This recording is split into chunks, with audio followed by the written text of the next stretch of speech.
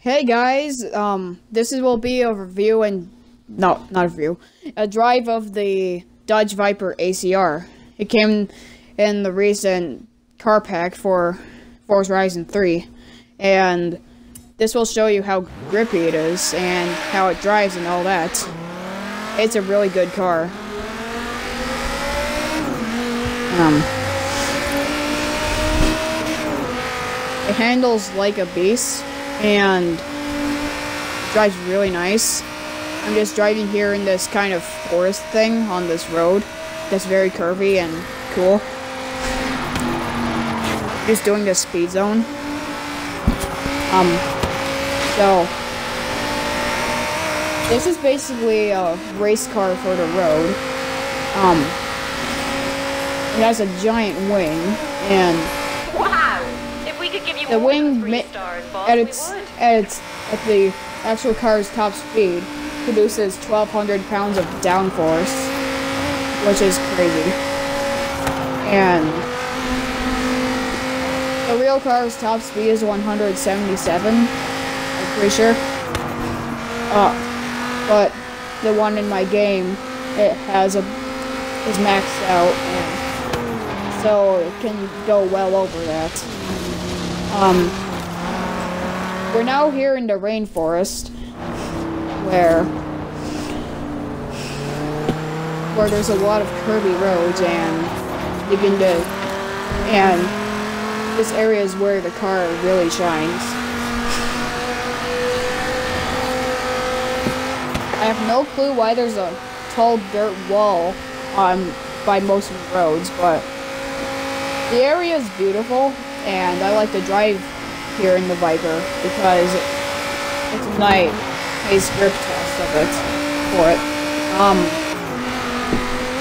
so the car, this car has a, I'm pretty sure a 8.4 liter V10, which is crazy, and I think this car started production in the 90s, and there's been three different the I've I've seen three different designs for it. Like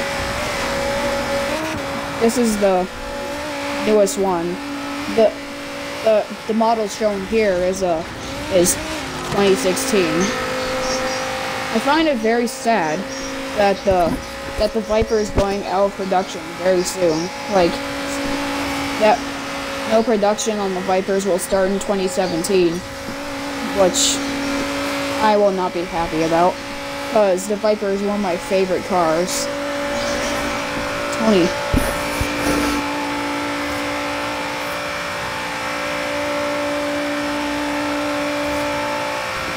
Um. I'm sorry for. Sorry, but I was interrupted by my brother's weird music. And. Um we're at the by the beach where there's lots of corners and where an area where where your car can gain a lot of speed, which is it's a perfect area to test how your car drives. And in this area you used to be able to do a glitch, which helped you get lots of XP and skill points. Um, here comes a speed trap. 184.96. Not bad. Um, now we're by the shipwreck area, where it's where it's actually really beautiful. The number one reason why I like this game is is because of all, well, many other number one reasons. um, one reason is how nice this game looks, and it just sometimes it looks better in real life in a way, even though it kind of isn't possible. And there's over 450 cars. Yeah. Um, the map is very huge. Here I'm just start, starting a, another clip. Um, yeah. So, yeah, here it is. Um, I'll be continuing driving the Viper and showing how good it is at at it, at what it's made to do.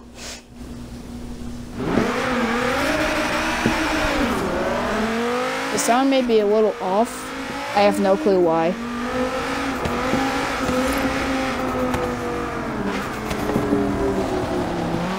Um, this will this is my second video on with an actual voice on Forza Horizon 3 and not some weird app game.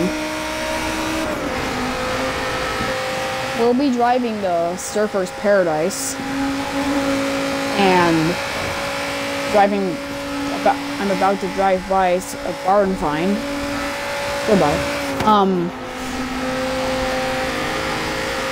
Look at all those rusty ships. Fing salad fingers would love those. Um, if you even know what that is, anyway.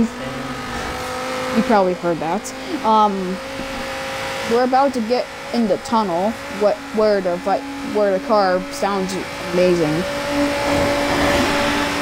Yeah, it's it sounds a little bit like a truck in real life because it has a truck engine that's modified or something. I don't know. Um, it just came from a from another Dodge Chrysler truck. The Dodge is owned by Chrysler. Um,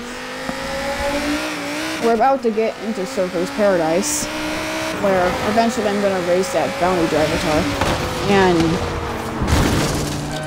there's too many cars.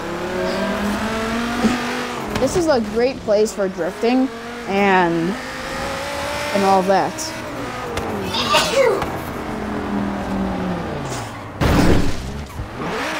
Inside, the the car has this cool red red thing band on top of the steering wheel, um, which I think is supposed to tell you if the wheel is centered or not, which probably don't need much because you can tell it's centered and for an obvious reason, like the way the wheel's designed.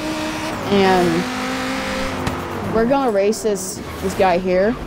He's in an orange GTA Spano. His engine sounds pretty similar because um, both these cars have V10s. And crashed into R8, I'm sorry. Um, I'm destroying this guy. And the thing this car is is mostly good at is is its cornering. It's absolutely crazy. And really nice. That's why I like this thing. So I recommend getting the car pack this car is in. I'm pretty sure it's called Alpinestars. I don't know how to pronounce it. That's probably the right way anyway. Um, here I'm about, I'm just gonna take, just take a screenshot. It looks amazing. It's just driving down the beach. That's basically what it is. I am gonna, okay, this is, this is, this is another part of it where it's basically only 40-ish seconds long. So, it, our video here is to end soon, but we're about to get back at the at the roundabout that that we went straight through when going to Surfer's Paradise. I'm pretty, I think. Okay, we are gonna leave off here.